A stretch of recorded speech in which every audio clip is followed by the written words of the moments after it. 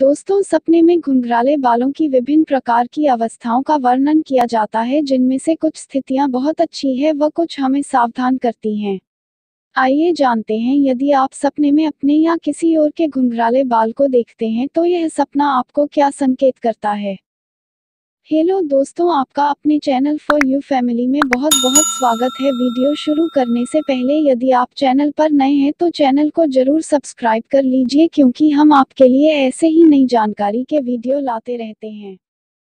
दोस्तों, यदि सपने में आप अपने कली बाल देखते हैं तो इस बात की संभावना होती है कि आप प्रभावशाली व्यक्तित्व के हैं तथा जो भी निर्णय लेंगे, उनके सकारात्मक परिणाम होंगे। हर कार्य को आप सोच समझकर करेंगे, जिससे आपको बहुत ही अच्छे परिणाम मिलेंगे।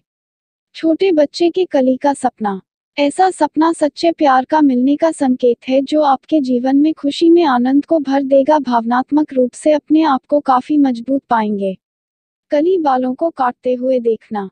दोस्त बालों को काटना आपको सावधानी की ओर सचेत करता है, आपको हर किसी पर भरोसा नहीं करना है।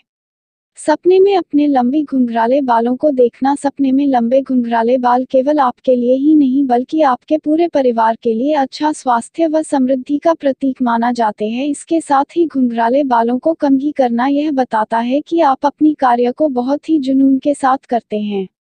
वीडियो को पूरा देखने के लिए आपका बहुत बहुत धन्यवाद।